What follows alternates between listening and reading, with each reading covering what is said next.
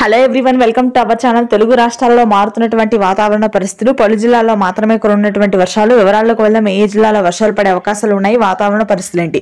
తెలుసుకునే ముందు ఇంకా మన ఛానల్ కనుక సబ్స్క్రైబ్ చేయనట్లయితే వెంటనే సబ్స్క్రైబ్ చేసి పక్కన ఉన్న బెల్ ఐకాన్ కూడా క్లిక్ చేసేయండి.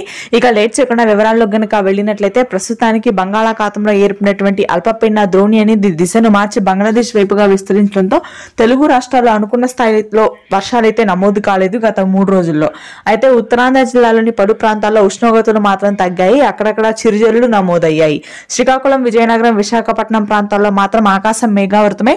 కొంతమేర తక్కువ ఉష్ణోగ్రతలు నమోదు కాగా ఇక మధ్యాంధ్ర జిల్లాల్లో కూడా ఉష్ణోగ్రతలు భారీగా పెరుగుతాయి మరొక రెండు రోజుల్లో. ముఖ్యంగా గుంటూరు కృష్ణా కోనసీమ నెల్లూరు ప్రకాశం జిల్లాల్లో దాదాపుగా నలభై ఐదు నుంచి నలభై ఏడు డిగ్రీల వరకు రికార్డు స్థాయిలో ఉష్ణోగ్రతలు పెరిగే అవకాశం ఉంది.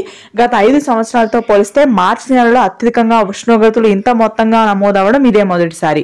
ఇక ఆ తర్వాత రాయలసీమ వ్యాప్తంగా కూడా పొడి వాతావరణమే కొనసాగుతుంది. తెలంగాణ జిల్లాలో మాత్రం వర్షాలు నమోదు కానున్నాయి. పొగ మంచు కారణంగా చలి తీవ్రత పెరుగుతుంది. చలి తీవ్రత వలన అక్కడక్కడ చిరుజల్లు నమోదవుతాయి. నిజామాబాద్ ఆదిలాబాద్ నల్గొండ కరీంనగర్ వరంగల్ ప్రాంతాల్లో ఈ వర్షాలు నమోదవుతాయని వాతావరణ కేంద్రం వెల్లడించింది. మహబూబ్ నగర్ గద్వాల్ కరీంనగర్ వరంగల్ ప్రాంతాల్లో మాత్రం పొడి వాతావరణం ఉంటుంది. Thank you